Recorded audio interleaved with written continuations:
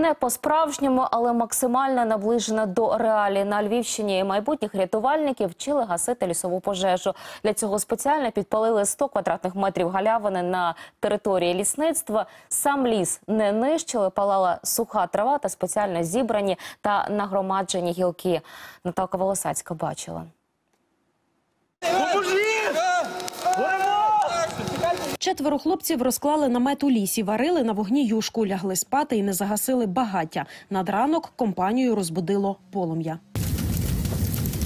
Один з відпочивальників надихався диму та знепритомнів. Петро, Петро. Усе це легенда. Пожежу на галявині рятувальники розпалили сухих гілок, щоб не було ризику займання дерев. Як гасити вчать курсантів університету безпеки життєдіяльності та студентів лісотехнічного університету. Першими на пожежу прибувають лісники. Вогонь намагаються загасити протипожежними хлопавками, але марно. Трактором оборюють місце пожежі, аби вона не пішла далі до лісу. Алло, пожежна, телефонує головне лісничий Великопільське лісництво Старчий сукомбінат.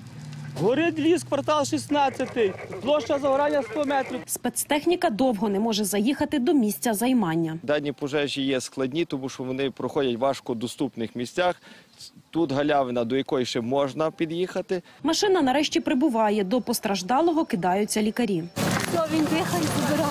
А далі рятувальники розгортають пожежні рукави. Подайте, будь ласка, стволи з лівої сторони, щоб пожежа не перекинулась на сусідній ліс.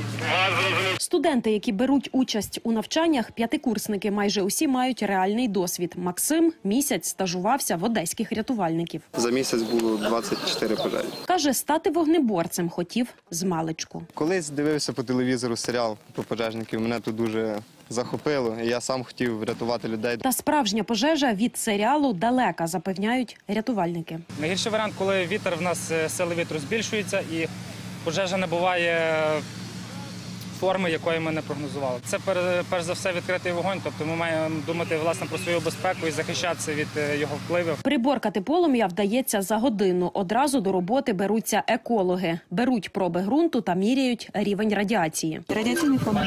Навчання рятувальники влаштували спеціально у пік пожеж. З початку польових робіт сухостій палає щодня. Буває за добу зо 200 викликів. Підпалюють траву селяни, і нерідко вогонь нищить їхнє майно.